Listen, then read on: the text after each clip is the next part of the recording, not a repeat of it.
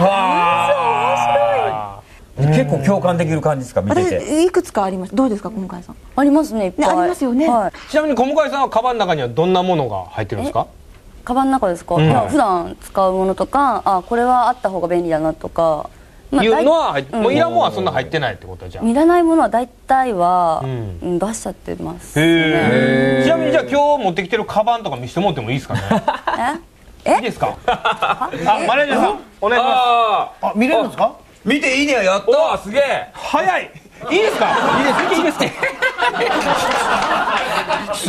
ち気がちっちゃいですね。ということで小向井さんのカバンの中身をチェックうわこれは。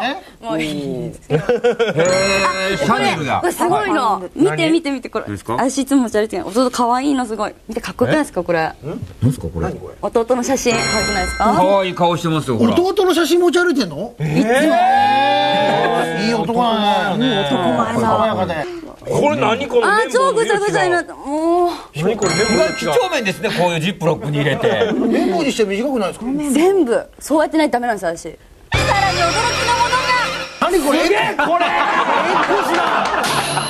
X 名の X や。入らへんからちょうど X にしてる。うわこれ発見した時気持ちよかったでしょ。なあ。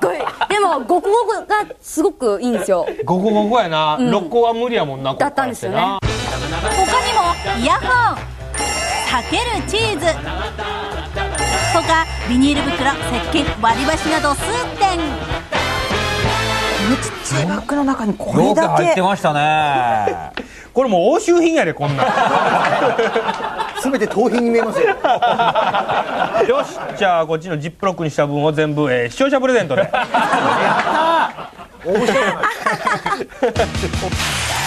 小向井さんのサイン入りビニール袋ほかご覧の品々をお一人の方に抽選でプレゼント。どし